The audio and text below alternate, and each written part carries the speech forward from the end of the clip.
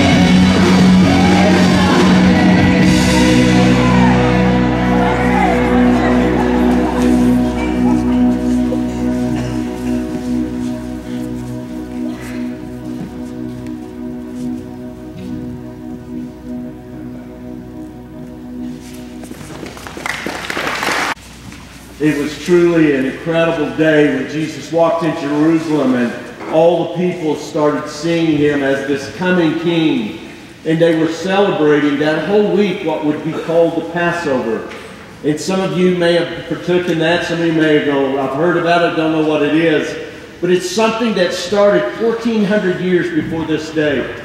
And the reason that we're celebrating is because Jesus did enter in. And some of the people believe that he had come to be this great king, to become this uh, mighty Savior to come and redeem them. At their time, they thought it was Jesus had come to save them from the Roman Empire. But God had bigger plans than that. In those 1400 years, what started this whole festival was back in Egypt, the children of Israel were captive. The Hebrew children were captive slaves, and they had only known slavery for 400 years. And God spoke to a man called Moses, and he, uh, he had told him, He says, I need to set my people free. I want to set them free. And part of that, uh, the scripture here in Exodus chapter 6, verse 3, it's, this is in the Amplified, and it goes on into the Hebrew uh, expression of that, and he says, he tells Moses, is Moses, I appear to Abraham and Isaac and Jacob as God Almighty, uh, El, El Shaddai. Many of you heard that term and not understood it, but it's El Shaddai means God Almighty. It's, it's knowing you've got someone mighty on your side.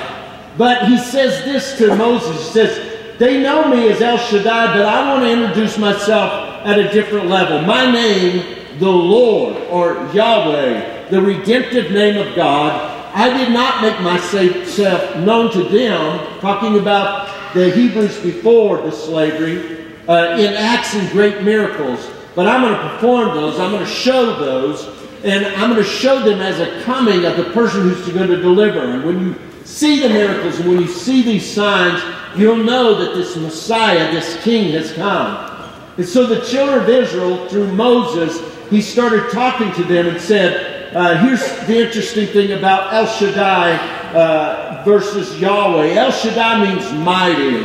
And many of us are humbled by the, the great strength of other people. We, we see them and we're just in awe of their strength. It humbles you. And awe of someone is, is a means of humility. It makes you admire them because of that. Some it's knowledge, and it's just this incredible uh, wealth of knowledge. And you look at them and go, man, that is amazing. You're looking at them, you're in awe of them, and that is a means of humility. There is another one that comes from ability, and someone that, that the final two is out there uh, that you're looking at and go, man, they can do, they're so good at what they do, and then you admire them because of their ability. Others, it's just accomplishments. He's done all kinds of things, and he goes, "Do you know that guy built that building, or that that person restored that car, or, that person baked this cake?" I mean, there's there's that's where I like it the most. Sorry, but with this admiration, going, "Man, that is awesome," and when there's that sense of awesomeness, that is a sense of humility. And El Shaddai was great God. It put you in this presence of going this humble position. God is great. It's the same thing that you have when you see uh, a pro football team and about a 400 pound guy standing on the sideline with sweat pouring down his face. He has these black marks under his eyes and he's standing there and he looks like he could kill anybody. And as he's standing there, the camera pans around and when he gets to him, he looks at the camera and goes, Hi, Mom. And the reason he's, he's that because love conquers this 400 pound guy to know this humility. He is awestruck of his mother, of all the people and all the things that he could growl and he could look almighty and everything. He humbles himself and he says, Hi, Mom. And it's this awe that is taken with him that turns this great, huge man into this little powder puff on the sideline of being able to recognize love. It's awesome. And God says, I want to introduce myself to these Hebrew children. They know me as great, mighty God. But what I want to do is I want to introduce myself as Yahweh, which means I am. I am. And listen, the transition of that is I'm no longer just a mighty God and a God who promised you Canaan land, the Hebrew heaven, and what is equivalent to that. Because a lot of people today only know God as this big God that sits up there and it's something about heaven. But he wants to introduce himself to the children of Israel as Yahweh. I am. I am with you. I, I know who you are. I know your name. I'm reachable. I'm touchable. I am not so distant and mighty that I can't be found in you. And that was who this God was trying to introduce. He says, uh, Moses, I'm trying to get you to introduce me to the children of Israel on these terms.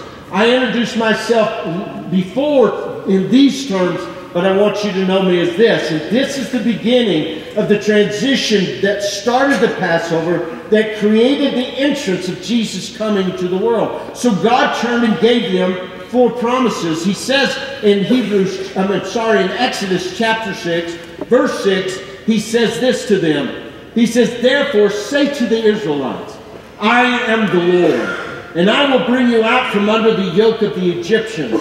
I will free you from being slaves to them, and I will redeem you with an outstretched arm and a mighty acts of judgment. Look at those two things there. He says, I am the Lord, and I will bring you out. That's his first promise.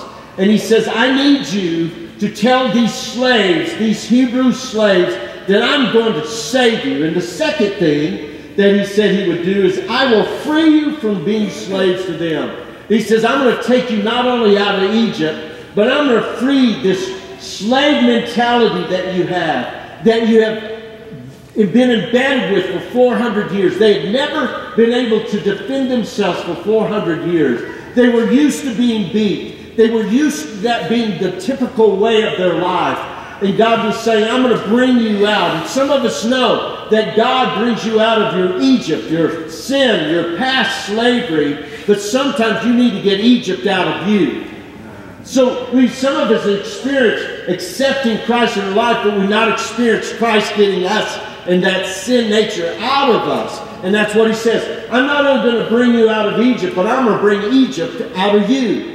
And that's one of the things that, the two things that he promised him. Then he says in verse 7, he says, I will take you as my own people. I'm going to take you and I'm going to gather you in and I'm going to call you my people. He says, I've got a place for you. I have a family for you. I have a connection for you. I have a ministry for you. I have a team for you to be on. And you will be my people. You will no longer be out there trying to find a place to connect, but I've got a place for you. I have redeemed you. That's another thing he says. I have redeemed you, which means I am claiming you back to your original calling and state. And God says, I promise these four things. I will save you. I will deliver you. I will redeem you, give you restoration into your heart that is from the original plan that God has. And then I will place you in a family. I will give you fulfillment in your life. That's what he promised the children of Israel. And I want you to know there is an enemy that loves to keep you enslaved. That enemy wants to keep you bound. And he wants to keep you uh, thinking that you're in charge when you're really just trying to do the next thing that would bring some type of joy. And the Lord says to you this morning, through Jesus Christ, He had come, and that promise that they, they had looked for of Jesus, this Messiah coming.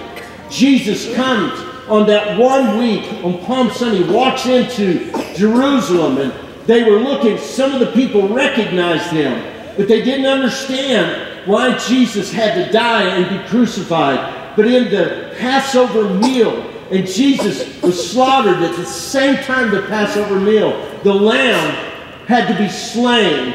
This lamb had to be uh, pierced. This lamb had to be beaten, struck in every single way. And because that lamb would take away the sins of Israel once a year, Jesus comes into Jerusalem. And the people didn't understand that he had come to take away the sins of the world. And once for all, that no longer did they have to have a sacrificial lamb because the lamb had been slain. And so today we celebrate that Jesus has come in. And, but there are people who are bound in slavery. There are things that has got them bound, and they're not experiencing the freedom that this wonderful lamb has been slain for, or Jesus has come and died for. And today is a day that you can stand up to your enemy, because your enemy only wants uh, three things to do in your life, and it's found in John 10 10. And he says this about your enemy. He says that your enemy has come to kill, to steal and to destroy. But I have come that you might overcome and you may have life abundantly. And that is the Lamb we celebrate today. That is the person that we glorify this morning. As we adore him, and as we praise him, as we recognize this King of Kings who has come to restore us. And so this morning, one of the things we're going to ask you to do is that we're going to ask you to consider God. And- God may be this distant God, this uh, El Shaddai, this distant person. But God, this God I'm talking about this morning, is here. And his name is Yahweh. And he is I am. I will save you. I will deliver you. I will redeem you. I will fulfill your life. And you can know this Lord today. You can know this Lamb of God today. And so today, God, we just celebrate you. We give you all the glory. You are worthy of our praise. And Lord, we open up our hearts to receive a full understanding of the goodness of our God this morning. We give you thanks and we give you praise in Jesus' name. Amen. Can you celebrate him today?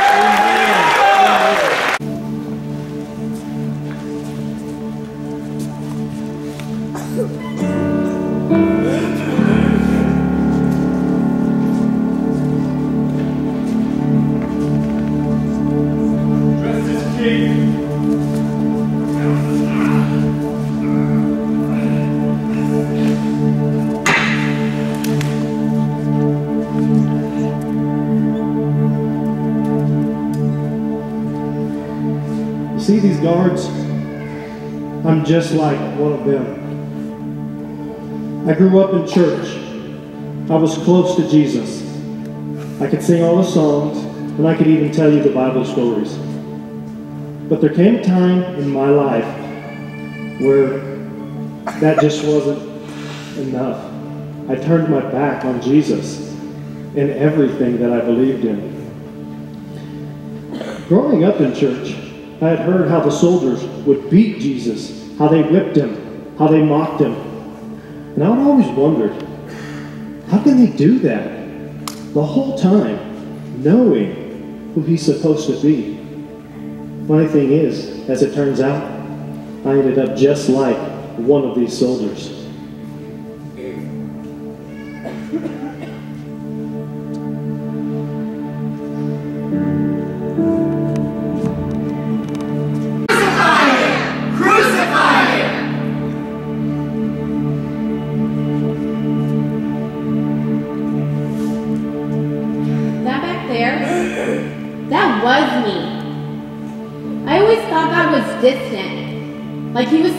Heaven and didn't care what was happening in my life. You see, it's not as if I was yelling with the crowd to crucify Jesus, but I was caught up in my own life.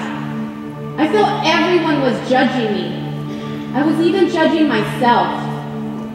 I was ready for the worst, and honestly, I didn't care. I just felt that there was no hope for my life. I felt empty.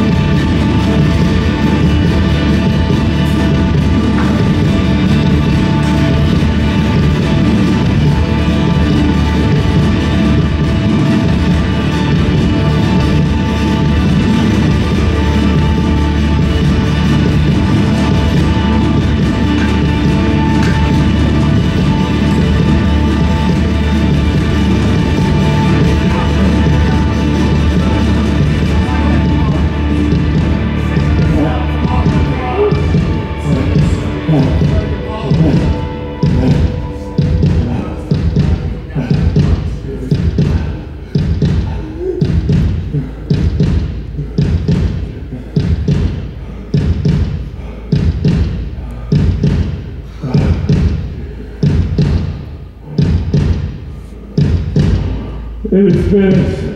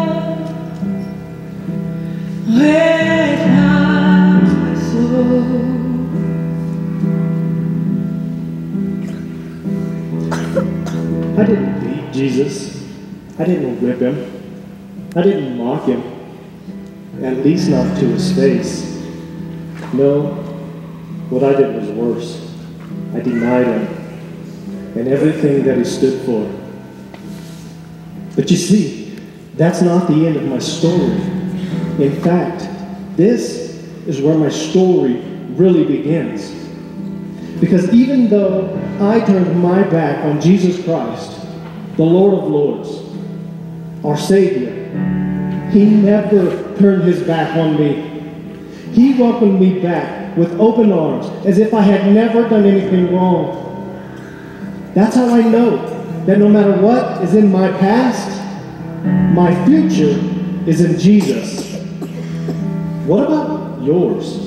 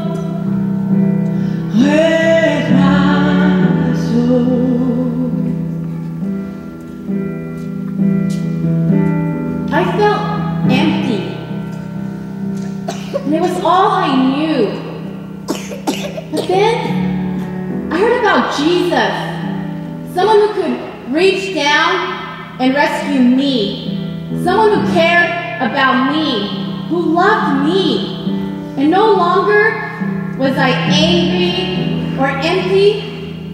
He reached for me. And now he's reaching for you. Won't you take his hand?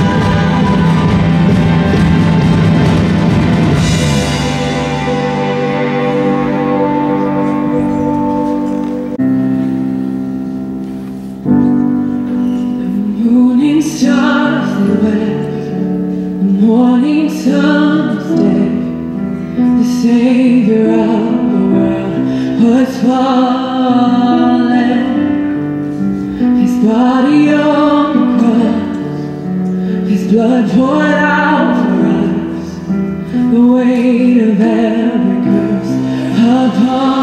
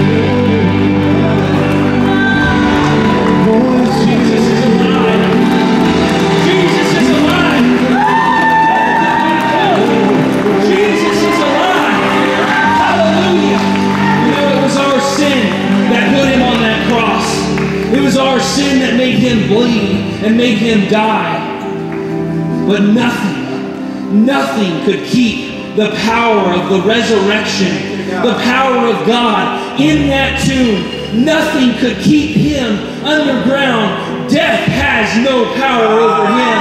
And because of him, death has no power over, over us. Jesus is alive. Today you saw a story. This morning you saw the, the simple gospel being proclaimed. You saw how Jesus, who was born of a virgin, how he led a, a miracle filled life to show people God's love.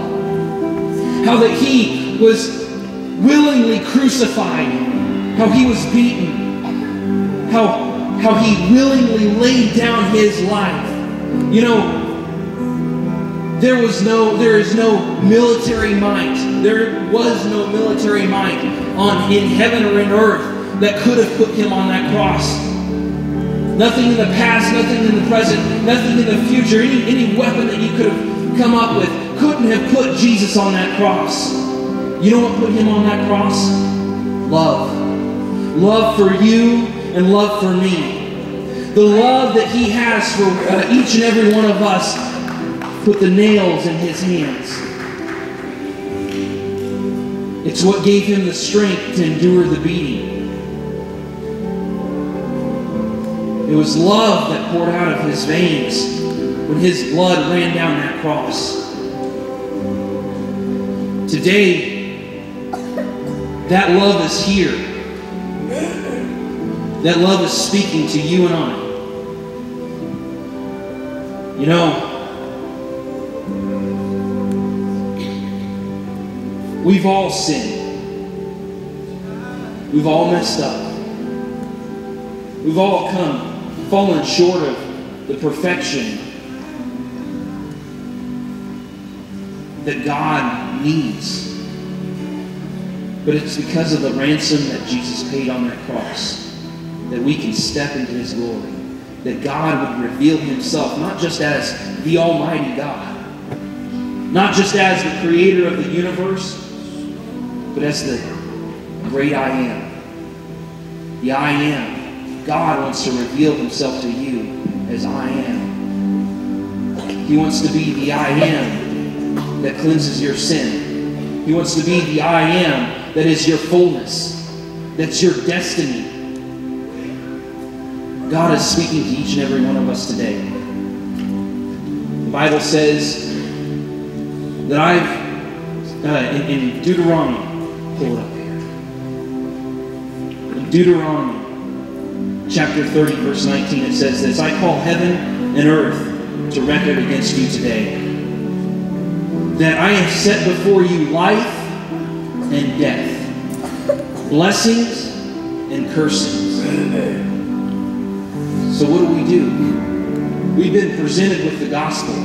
We, we know the story, and we know how it ends. So today we have a choice to make. Do we choose life, or do we choose death? Do we choose blessings, or do we choose cursings? Do we choose Jesus Christ, the great I am? Or do we choose our own ways, our own religion, our own ideas and thoughts? God gives us the answer. He says, therefore choose life. And I'm asking you today to choose life. If you've never before asked Jesus to be the Lord of your life, if you were to say to me, I, you know, Cole, I don't know if I were to die today, I don't know for sure that I would go to heaven. You can have that answer today. It's as simple as this. The Bible says in, in, Romans chapter 10, verses 9 and 10, it says, if any mouth, or with, I gotta look it up. Bible says that if you confess with your mouth the Lord Jesus and believe in your heart that God has raised him from the dead, you shall be saved. It says, for with the, the heart man believes unto righteousness, but with the mouth confession is made unto salvation. You may have been like some of those that were up here giving testimony today and, and grown up in church, and, and you may have heard this story all of your life. And yet it's never sunk in and you never truly believe. Today, believe that story and call on his name. And you'll find refuge in his family. You'll find peace from your sins. So, with every head bowed and every eye closed, I, I'd like you to answer this question. If I were to walk out of here, do I know for sure that I'm going to heaven? If your answer to that is no, there's nobody looking around, I want you to lift your hand up. If you don't know for sure that you would, uh, you would go to heaven if you were to die today, lift your hand up. I see that hand. I see that hand. And that one. Is there anyone else? I see that over there. And over here.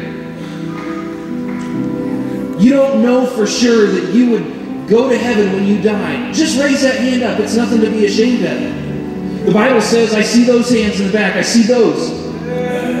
The Bible says that every knee shall bow and every tongue shall confess that Jesus Christ is Lord. You will either do it today or you will do it in the future, whether it's on this side of the grave or whether it's at the, at the judgment seat of Christ. Choose life today. If you would, if you raised your hand, I would like you to stand up and come to the front here. I want to meet you up here at the front. Come on up. I saw many hands. Just come on up. Come on. Come on. Come on. Come on.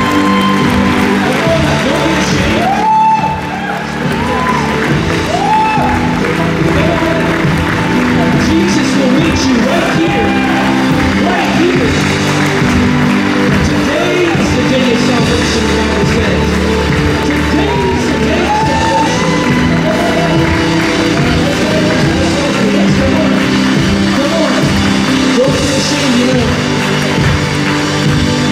It's been said that the Bible that that the ground is level at the foot of the cross. You know what that means? That means that doesn't matter who you are.